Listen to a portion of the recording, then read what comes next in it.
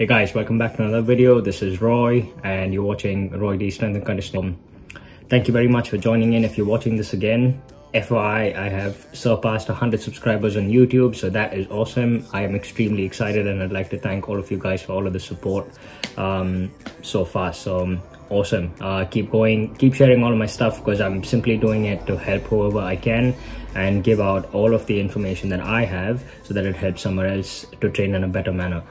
Um, today's video is about an upper body exercise that is not only an upper body exercise, but it's basically um, a, a, big core exercise as well. So um, they're called Renegade Rows. Uh, and I, I will have a voiceover when I take you through the video of me doing them myself.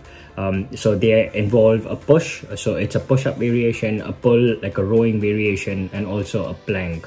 So you will use your abdomen quite a bit, all of your core actually, and also your anti-rotation um, uh, your anti-rotators of your core. So by that i mean your obliques.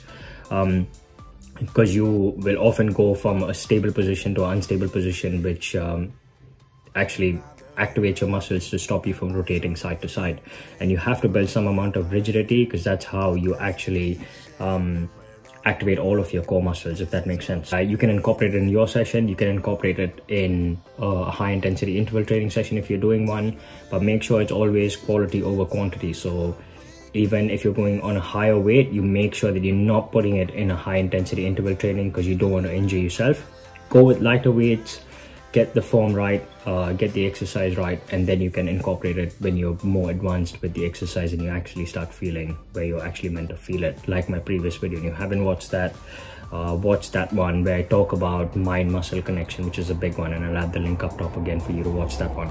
Uh, so I hope you enjoyed the session, um, or this video rather, um, and please hit me up if there's anything that you need, any questions that you have about anything, and I'm more than happy to um, to do justice from my end as much as I can uh, to reply to your questions or to upload anything if I can. So I hope you enjoy this video and continue to subscribe, share my videos with people that it will help and smash that like button as much as you can.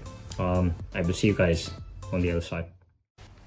Okay, it's a simple setup in a plank with two dumbbells under your hands. You will go with two push-ups and a row on each side.